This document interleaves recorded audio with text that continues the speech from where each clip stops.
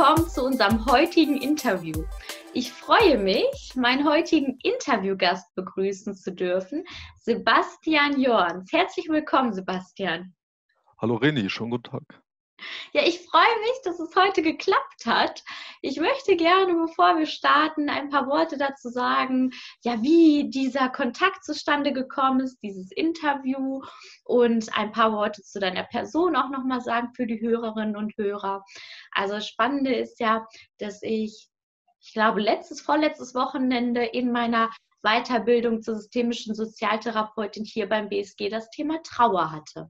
Und da waren, äh, wurden viele Themen angesprochen, wo ich denke, hm, das ist doch spannend. Wieso wird darüber denn nicht häufiger gesprochen? Und das wäre doch auch ein interessantes Podcast-Thema. Und da ich ja weiß, dass du unter anderem auch Trauerbegleiter bist und ja auch das ein oder andere Thema in der Weiterbildung bisher übernommen hast und auch zukünftig noch weiter übernehmen wirst, dachte ich, ja, da frage ich dich doch direkt mal dazu, ob du Lust hast, ein Interview mit mir zu führen. Und ja, glücklicherweise hattest du Lust und Zeit und ja, somit freue ich mich, dass wir das hier heute miteinander machen dürfen.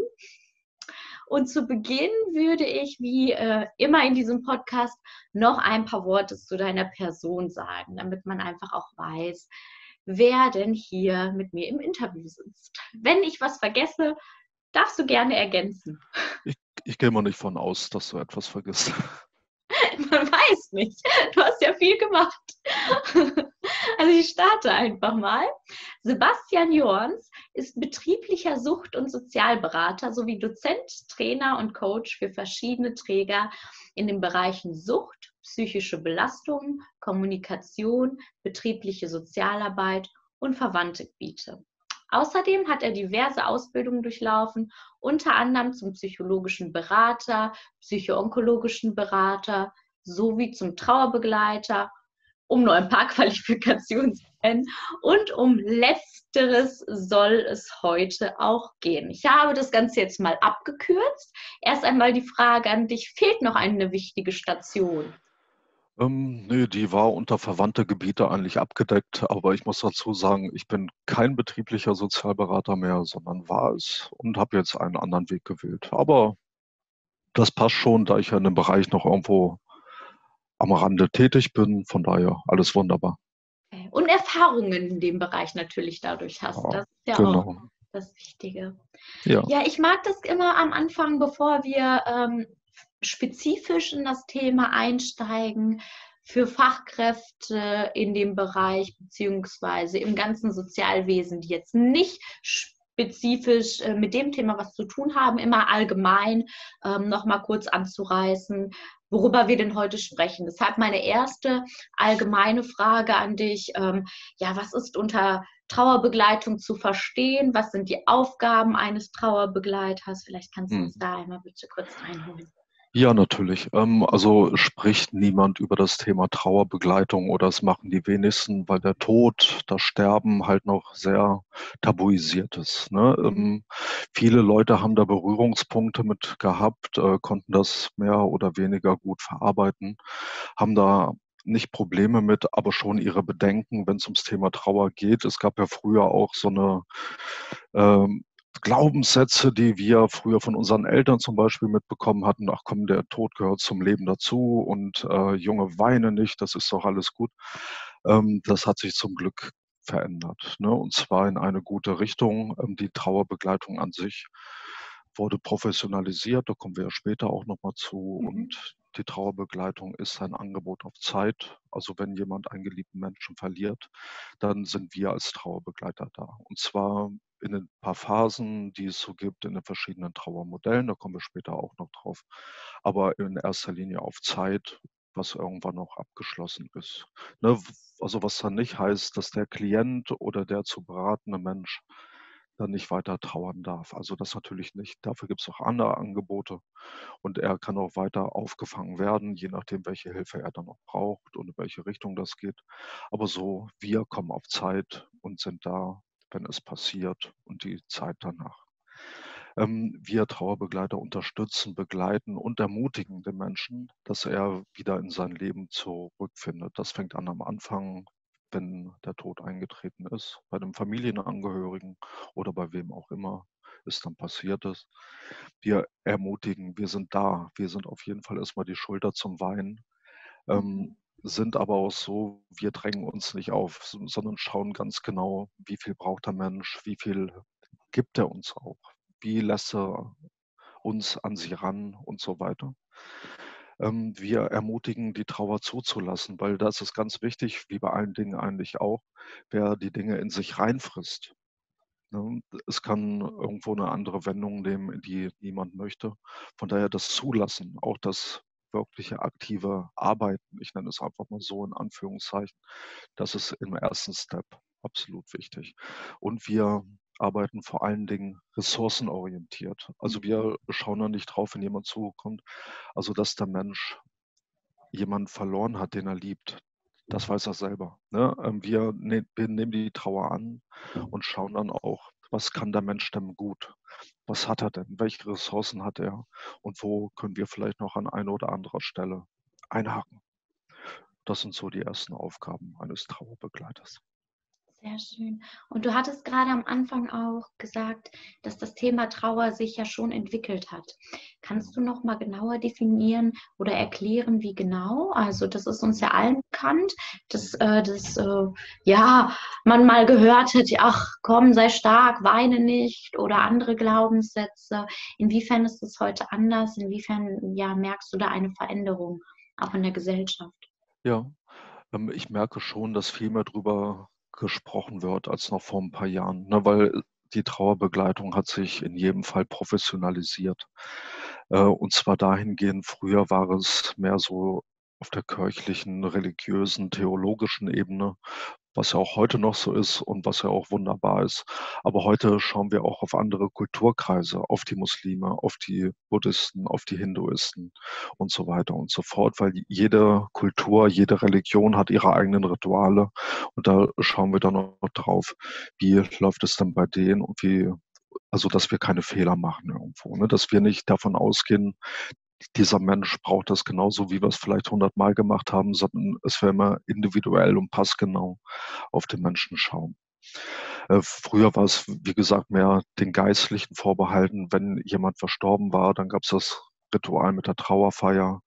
Ähm, dann gab es die Bestattung, ob es die Uhrenbestattung, die Erdbestattung oder wie auch immer. Oder heute gibt es auch Friedfelder und so weiter. Und heute ist es eine Kultur geworden, eine Bestattungskultur, eine Trauerkultur, die einfach viel offener ist, die auch mehr präsentiert wird, die auch irgendwo gut angesetzt ist und genau gut vorbereitet auf eben den Trauerfall und auf, auf die Trauerarbeit. Also da spielt das ein oder andere zusammen. Wenn jemand verstirbt, wir schauen uns mit dem Bestattungsinstitut dann an, was können wir dann machen oder ob es in einem Hospiz dann passiert ist die Rädchen greifen ineinander und sind nicht so irgendwo abgehackt. Ne, das fängt auch an beim Krankenhausseelsorger meinetwegen, wenn, wenn es auf einer Palliativstation war zum Beispiel. Ähm, da irgendwann geht es raus und im Krankenhausseelsorger sind auch die Hände gebunden, er ist in seinem festen Rahmen, kann nicht so raus. Und die eine Seite bereitet die nächste vor. Ne? Also es geht immer weiter, immer weiter, immer weiter, um so dem Menschen helfen zu können. Okay. Und nach welchen Grundsätzen wird denn heute Trauerbegleitung praktiziert? Ja, ähm, die ich gerade schon angesprochen hatte. Auf jeden Fall die Vernetzung der Arbeit, ne, dass so die verschiedenen Professionen, ich nenne es einfach mal so, zusammenspielen, äh, dass die Trauerbegleitung auch ins Medizinische irgendwo mit eingebunden wird. Also wir brauchen auch Vorwissen, ne, weil wir brauchen deswegen auch bei mir die psychoonkologische Beratung, die Fortbildung dazu, dass ich eben auch wusste, okay, das lief nicht immer so ganz sauber, die Krankheit war über einen längeren Leidensweg und, und das trifft sich dann auch im Trauerbereich wieder. Ne? Und solche Dinge sollte man dann auch wissen. Es spielt ineinander. Wir sind sehr gut vernetzt mit sämtlichen Akteuren, die es gibt. Wir haben Riesennetzwerke und das gab es eben vorher nicht. Ähm, die qualifizierte Vorbereitung für uns als Trauerbegleiter gibt es auch. Es gibt verschiedene Themen, die professionell bearbeitet werden. Ähm, aber wir müssen auch schauen, wo endet Trauerbegleitung und wo ist vielleicht auch ein Psychotherapeut oder ein Psychologe oder andere Professionen vonnöten. Ne, dass wir eben wie bei allen beratenden Tätigkeiten halt diese fließende Grenze, die es manchmal gibt, auch sehen und finden, mhm. um, um dann in unserem Netzwerk weiterführend begleiten zu können. Aber auf jeden Fall der größte Punkt in der Trauerbegleitung ist heutzutage absolute Achtung und Wertschätzung des Trauernden. Also wie es ihm geht, wer er ist, welche Vorgeschichte er hat, ähm, in welchem Feld er vorher war, vielleicht auch. Also den ganzen Menschen ganzheitlich schauen wir uns an, um dann auch genau auf diesen Menschen individuell einzugehen. Ne? Weil es gibt ja wirklich kein Schema B irgendwo. Wir könnten Leitfäden schreiben die es auch gibt und die auch gut sind, aber nur eben als, als grobe Richtung. Also wir können jetzt nicht sagen, Punkt 1 ist abgehakt, dann kommen wir einfach mal zu Punkt 2, zu Punkt mhm. 3, 4 etc. pp, sondern dass wir da eben die Offenheit und auch für uns die Klarheit und die Offenheit haben. Da ist der Mensch, der braucht dies und das. Und das achten wir und wertschätzen wir auch. Und jetzt ist Trauerbegleitung ja nicht einfach Trauerbegleitung. Dort ist es auch, auch gerade kurz genannt. Welche unterschiedlichen Formen oder Modelle gibt es denn da? Ja, Formen und Modelle, auch das hat sich, wie vorhin gesagt, professionalisiert. Es gibt immer noch die Face-to-Face. Trauerbegleitung. Also dass mhm. wir äh, sowohl die Trauerbegleitung kann schon beginnen auf der Palliativstation oder im Hospiz, wenn die Angehörigen halt auch dann zu professionellen oder ehrenamtlichen Mitarbeitern gehen und da schon erste Fragen haben, wie es dann sein könnte. Also es kann sein, wir schauen Richtung Bestattung oder Richtung Tod, ne, dass, dass wir die Leute da schon in ihrem ersten, bei Punkt Null, ich nenne es einfach mal so, im Trauerprozess abholen und auch dahingehend begleiten. Dann kommt es immer darauf an, dem einen oder anderen Menschen reicht es, am Sterbebett vielleicht ein Gespräch zu führen oder auch danach. Ähm, wir können Rituale machen. So Hospize bieten zum Beispiel an, einmal im Jahr eine Gedenkfeier für die Verstorbenen. Oder andere bieten Trauerorte an. Also in Krankenhäusern gibt es viele Trauer Stätten oder Gedenkstätten, zum, zum Beispiel Steine, wo die Menschen Blumen hinbringen können oder ähnliches machen können, um sich halt an die Menschen zu erinnern. Es gibt Trauerräume, auch in verschiedenen, das machen Bestattungsinstitute, das machen Kirchen, das machen Krankenhäuser, das machen Hospize auch.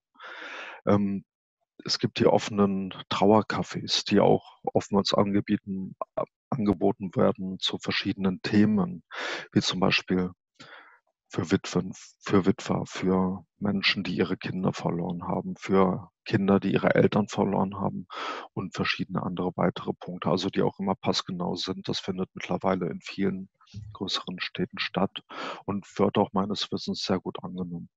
Es gibt die ehrenamtlichen Begleiter im Nachgang noch, zum Beispiel die Selbsthilfegruppen für trauernde Mütter, für trauernde Eltern, für trauernde Kinder und so weiter. Auch dieselben Punkte, die ich gerade angesprochen hatte. Und auch mittlerweile gibt es Urlaubsreisen für Trauernde, also wo die Menschen, die einen Verlust erlitten haben, halt zusammenkommen und ähnlich wie in einer Selbsthilfegruppe in einem anderen Umfeld, ähm, an der See wird das angeboten oder auch einfach in der Sonne irgendwo, dass dort spezialisierte Reisen gemacht werden mit anderen Menschen in derselben Situation, wo der Austausch halt nochmal ganz anders ist.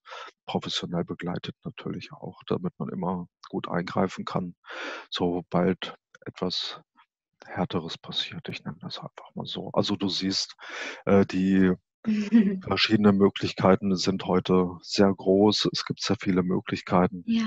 Und ist nicht mehr so, wo es früher im Prinzip war, der Mensch ist gestorben. Der Mensch wird, der Trauernde wird begleitet. Und damit war es dann auch schon. Also man kann heute eine ganze Menge machen.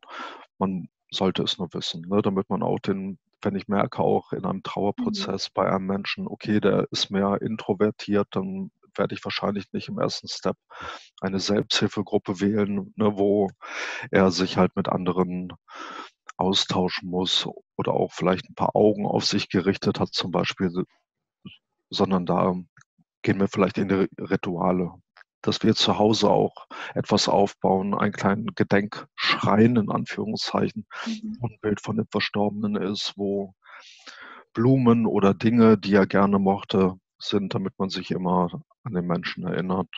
Und ja, und so, sind halt die heutigen Möglichkeiten. Finde ich sehr, sehr schön, sehr wichtig vor allen Dingen auch.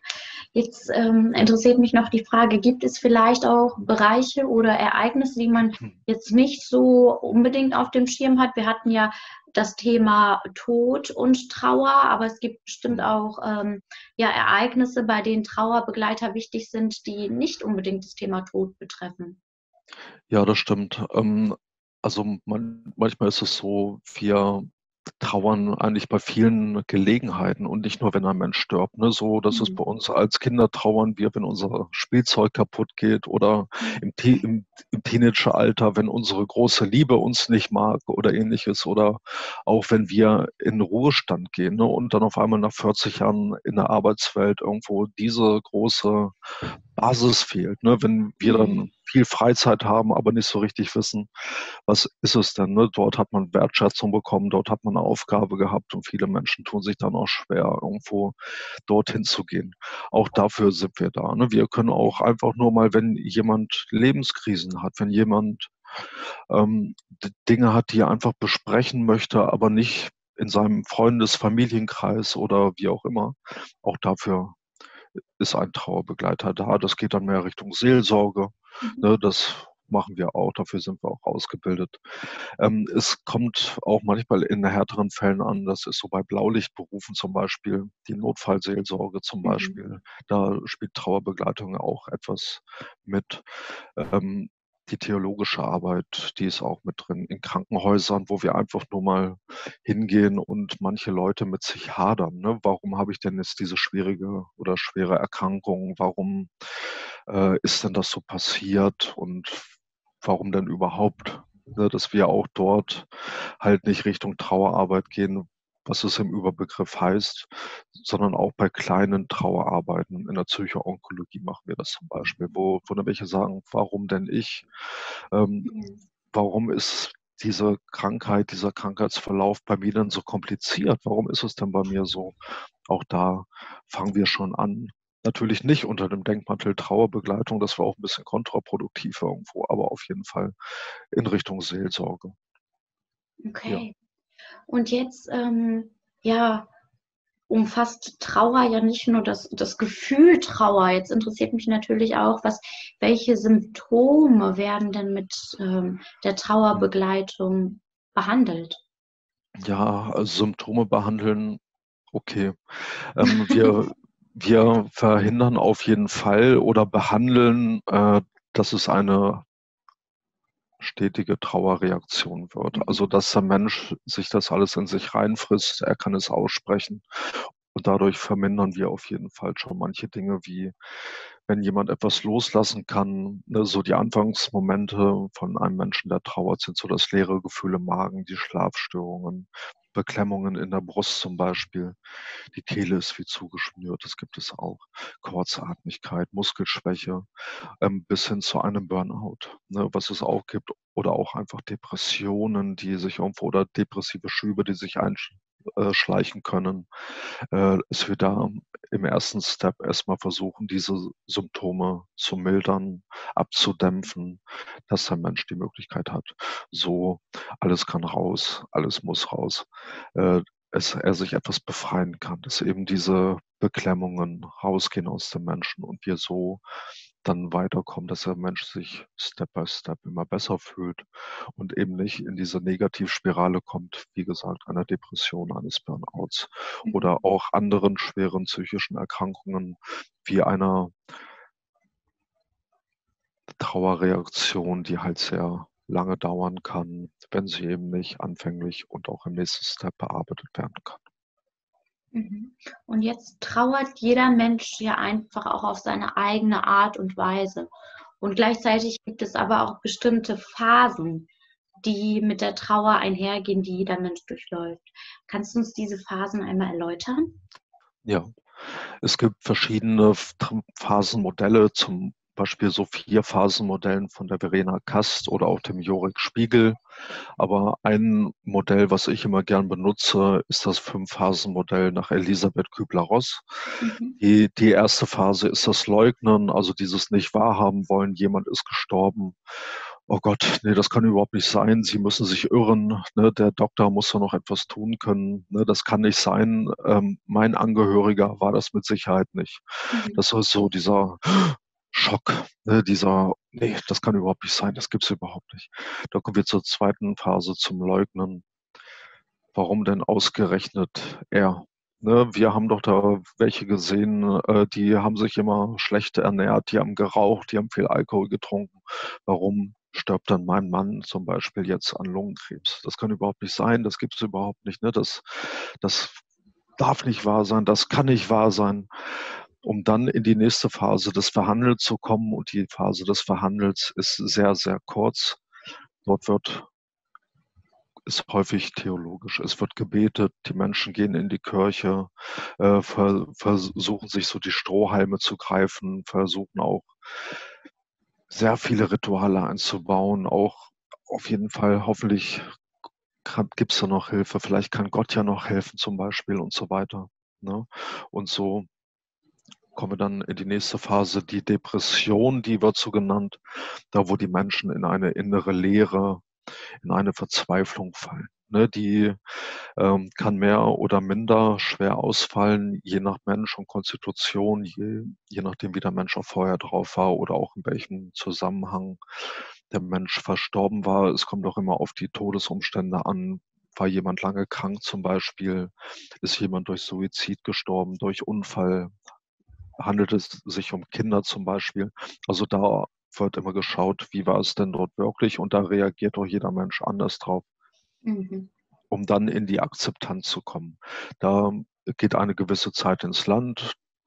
Und zwar diese Formel ist nur Pi mal Auge. Man kann nie sagen, so und so ist es und das ist dann auch so, leider. Und auch eins ist ganz wichtig zu sagen, nur diese Trauermodelle sind nicht immer kontinuierlich. Also nur weil jemand die Phase 1 jetzt abgeschlossen hat, heißt es auch noch nicht, dass automatisch die Phase 2 kommt zum Beispiel. Nach einer gewissen Zeit, es gibt so Eckdaten, zum Beispiel der, der Geburtstag des Verstorbenen, der Todestag des Verstorbenen, Phasen wie Weihnachten, Ostern, wo die Familie vielleicht zusammensitzt, ähm, wo man sich dann noch besonders an den Menschen erinnert, ach, letztes Jahr war er noch hier zum Beispiel und hat hier mitgefeiert und hat dies und das gemacht. Und der Geburtstag war doch immer so schön und das Weihnachtsfest im letzten Jahr, das war so toll. Ähm, es können immer wieder Phasen, welche es dann ist, immer mal wieder rauskommen. Ne? Es können Menschen dann in ein Loch fallen, es können Menschen zornig werden, wütend werden.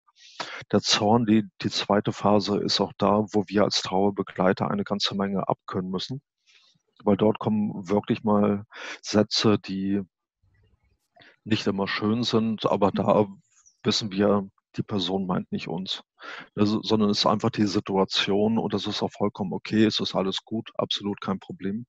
Aber nochmal, wir haben keine statische Trauerphase. Ne, wir können auch mal, wenn Punkt 1 war, dann kommen wir zu Punkt 3 und wenn Punkt 3 war, dann kommt wieder Punkt 1 und so weiter. Es ist immer flexibel und da dieses Eingehen auf die Phase und auch dann darauf, das ist unsere Aufgabe, weil wir wissen auch, wir verstehen es. Wir sind dafür auch irgendwo ausgebildet und haben da auch Erfahrungen gesammelt. Aber da gibt es ja noch die Angehörigen von den trauernden Menschen. Ne? Und die verstehen, Mensch, jetzt warst du doch schon so gut drauf, wieso fällst, fällst du denn wieder in ein Loch zum Beispiel? Ne? Und das ist dann auch, was den Trauernden das Leben unheimlich erschwert. Ne? Sie möchten dann in dieser Phase sein, ähm, und können sich dann noch mit befassen, wenn wir dann auch da sind oder eine andere Hilfemöglichkeit ist, das sich mal dahingestellt. Aber dann dieses Verständnis für das Ganze, das ist es dann, was es kompliziert macht, weil da können auch viele trauernde Menschen in ein Loch fallen, indem sie sich dann auch sagen, ich war doch schon so weit, was ist denn jetzt los? Ne? Und, und sich dann Gedanken machen, liegt es denn an mir? Ne? Was ist denn jetzt los? War da irgendwas anderes? Aber dann mit einem Gespräch kommen wir dann schon sehr weit, um, um dann zu schauen, welche passgenaue weiterführende Maßnahme ist davon nötig. Okay. Ja, spannend. Vielen Dank. Jetzt hast du es auch schon angerissen. Du hast gesagt, Verständnis, ähm, als Trauerbegleiter auch zu verstehen, in welchen Phasen befindet sich der Mensch, nicht alles mhm. persönlich nehmen. Was sind denn noch weitere wichtige Aspekte, die man als Trauerbegleiter berücksichtigen sollte? Ja, also in erster Linie der Punkt, jeder Mensch ist anders. Ne? Wir wissen im Vorfeld nicht, wenn wir gerufen werden oder zu einem Menschen gehen, egal wo wir dann auch sind, welche Historie hat der Mensch? Welche Historie hat der Verstorbene gehabt? Gab es eine Erkrankung? Gab es einen Akutfall? Gab es einen Suizid, einen Unfall oder ähnliches? Wie war es? Wir wissen es nicht. Ne? Und auch so, wir wissen nicht, wie war der Mensch denn vorher? Wie ist er dann vielleicht mit anderen Umständen umgegangen? Wie ist denn seine normale Vorgehensweise? Obwohl normal ja auch immer in Anführungszeichen zu sehen ist natürlich. Aber jeder Mensch ist anders und da brauchen wir etwas Feingefühl, Fingerspitzengefühl, damit wir halt auch schauen können. Wir machen nicht so viel, ne, sondern wir machen genau das, was der Mensch in dem Moment leisten kann, schauen dann immer genau hin, okay, bis hierhin und nicht weiter. Wir überfrachten, wir überfordern den Menschen nicht, sondern schauen jetzt genau, bis hierhin kannst du und da bleiben wir auch. Und auch eben, was ich eben gerade auch sagte mit den Trauerphasen, so ist es in der kompletten Trauerbegleitung. Es gibt kein festes Schema da. Wir schauen bei jedem Menschen individuell, wie gesagt. Ähm, und so die Leitfäden, die es gibt, die sind gut, aber nur sehr grob zu handhaben, da wir nicht von Punkt 1 zu Punkt 2 zu Punkt 3 zu Punkt 4 und wenn Punkt 3 fertig ist, dann haben wir Punkt 2 und 1 auch gleich automatisch abgehandelt, mhm. sondern es ist immer flexibel, es ist immer unterschiedlich bei jedem Menschen. Okay. Gab es denn, gab es denn in deiner bisherigen Arbeit Erfahrungen, wo du gemerkt hast, ähm, ja, wow, das ist ein Punkt oder ähm, ja, das tut den Trauernden besonders gut, was du vorher mhm. vielleicht auch gar nicht so gedacht hättest? Ja, ähm, auf jeden Fall denken viele Menschen, ich habe es am Anfang irgendwo auch gedacht. Ne? Ich hatte gedacht, okay, ich, ich gehe dorthin, unterhalte mich mit dem Menschen, schaue dann an und irgendwann ist auch gut. Ich kann ihm vielleicht noch mal ein bisschen im Alltag, im Haushalt helfen. Ist am Anfang für trauende Menschen auch immer schwer und kompliziert, den ganzen, das ganze Leben irgendwo hinzubekommen, irgendwo halt wieder in den alten Trott, ich nenne es einfach mal so, mhm. zu kommen. Mhm. Aber die wichtigsten Punkte, da haben wir vier. Und zwar die Anteilnahme in mhm. verschiedenen Formen. Und zwar Interesse an der Geschichte. Wenn jemand reden möchte, wenn wir bei einer Witwe meinetwegen sind und die äh, äh, möchte uns erzählen, ja Mensch, ich habe doch immer so und so viel gemacht mit dem Ehemann und ich möchte dies noch mal erzählen und ich möchte das nochmal. Und da kamen die Kinder dazu, also die ganze Lebensgeschichte. Da sind wir wieder die Schulter und hören uns das auch gerne an, weil wir wissen, so etwas befreit unheimlich. Ne? Wenn man dadurch mhm. auch, auch die Ressourcen, und zwar die schönen Dinge, die schönen Erinnerungen rausholt, ne, ist es wichtiger, als, als wenn man sagt, der hat mir vielleicht im Sterbebett dies und das erzählt, was mir überhaupt nicht gefallen hat oder irgendwelche Dinge, die noch nicht erledigt wurden zum Beispiel, sondern es wäre da ähm, diese Geschichten auch annehmen, uns zuhören, aktiv zuhören und auch Nachfragen stellen und wirkliches Interesse dafür zeigen, dass wir sagen, ja, super interessant. Ich, ich selber kann auch eine ganze Menge lernen ne, von, von mhm. deinen Geschichten. Und da kommen auch unheimlich schöne und spannende Geschichten raus. Also ich finde es immer unheimlich gut. Genauso wie die Anteilnahme an den Gefühlen. Ne, wenn jemand weinen möchte, dann kann er weinen. Wenn jemand laut werden möchte, schimpfen möchte, naja, dann lassen wir ihn, ist gut. Wenn jemand lachen möchte, Humor haben möchte, hört sich im ersten Moment vielleicht ein bisschen komisch an, aber auch das ist von dem einen oder anderen Menschen ein Zeichen von Trauer. Das, das merkt man auch bei Kindern. Ne? Das verstehen die Eltern nicht, meinetwegen der Vater von Kindern ist gestorben und die Kinder wollen spielen, die wollen toben und von laut sein. Und dann kommen die Tanten und die Onkel und die verstehen überhaupt nicht, wieso sind denn die Kinder zu fröhlich. Das ist eine Form der Trauer, die Kinder recht häufig zeigen, ne, dass sie so versuchen, das zu verarbeiten, wenn es eben mhm. so mit Worten und langen Gesprächen noch nicht funktioniert, weil es sie einfach überfrachten würde. Ne, auch da dieses Verständnis reinzubringen, das ist die Trauer, die jetzt eben gerade gezeigt wird und das ist gut, das ist okay, das ist wunderbar und das soll auch so sein. Ein weiterer Punkt an den Gedanken. Egal wie na, verquer ist vielleicht das falsche Wort, aber trifft es irgendwie auch ganz gut. Mhm. Ähm, weil manchmal kommen Gedanken auf den Tisch, die ein bisschen kurios sind, die vielleicht auch etwas unerwartet dann kommen, weil die wie aus der Pistole geschossen halt kommen. Das und das hätte ich noch machen müssen, das und das möchte ich jetzt machen, dies und das möchte ich so und so.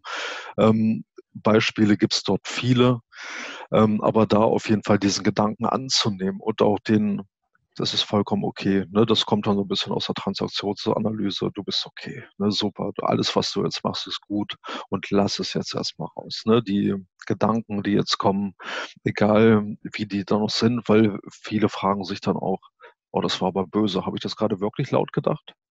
Ne? Na, da muss das raus, dann ist das mhm. gut, dann ist das vollkommen okay und so erklären wir das den Menschen dann auch, ne? dass es eben nichts Böses war, nichts, äh, was ihrem Angehörigen oder verstorbenen Angehörigen halt dann auch wehtut irgendwo, was dann auch ist, sondern dass es vollkommen gut ist, das ist okay, alles bestens, können wir so machen. Aber der allerwichtigste Punkt von allen ist das Zuhören ne, weil viele Menschen möchten reden, die möchten einfach nur sich mitteilen, die möchten einfach unheimlich viel, die möchten Ballast abladen, die möchten mhm. alles rauslassen, was die halt bedrückt. Und da das Zuhören, auch das aktive und auch das empathische Zuhören, ne, dass wir halt auch zeigen, im ersten Moment natürlich nicht, wenn der Trauerfall eingetreten ist, sondern wenn wir sehen, okay, der Mensch stabilisiert sich irgendwo, dass wir dann auch empathisch zuhören, auch ein bisschen auf die Körpersprache achten. Ähm, gibt es da Inkongruenzen zum Beispiel, wenn jemand sagt, mir geht's gut äh, und der Körper sagt irgendwo etwas anderes, ne, dass wir das auch ver verbalisieren und auch sagen, na, so ganz zufrieden scheinen sie damit nicht zu sein. Ne? Lassen uns nochmal drüber sprechen. Also, dass wir da dann dies nochmal erkennen und dann auch nochmal so den Menschen weiterhelfen, aus dieser Spirale entweder rauszukommen oder zu verhindern dass diese Negativspirale wieder eintritt. Ne? So mit den Phasen, ne, dass eben nicht wieder aus ähm, der Akzeptanz durch vielleicht auch unsere Unaufmerksamkeit irgendwo wieder ein depressiver Schub oder die depressive Phase kommt zum Beispiel. Ne? Dass wir immer die Augen offen halten, auch die Ohren ein bisschen spitzen und auch da schauen, passt das denn alles so zusammen. Daran sieht man ja auch, wie viel, wie viel Feingefühl und wie viel Einsatz vom Trauerbegleiter auch einfach ähm, ja, gefordert wird. Da würde ich dir gerne noch eine abschließende Frage stellen. Und zwar bei diesem ja, sensiblen Thema ist ja auch Selbstschutz sehr, sehr wichtig. Wie kann denn ein gesunder Selbstschutz äh, für einen Trauerbegleiter aussehen?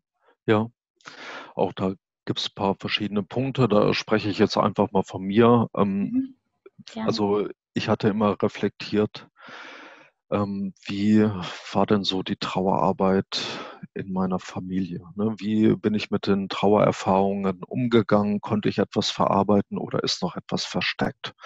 Ähm, wenn ich jemanden oder wenn jemand begleitet werden sollte, war es vielleicht ein identischer Todesfall mit dem, was ich als Kind erlebt hatte, wenn die Großeltern verstorben waren oder ähnliches oder ob ich etwas gehört hatte ähm, ein Mitschüler in der Grundschule ist bei mir verstorben.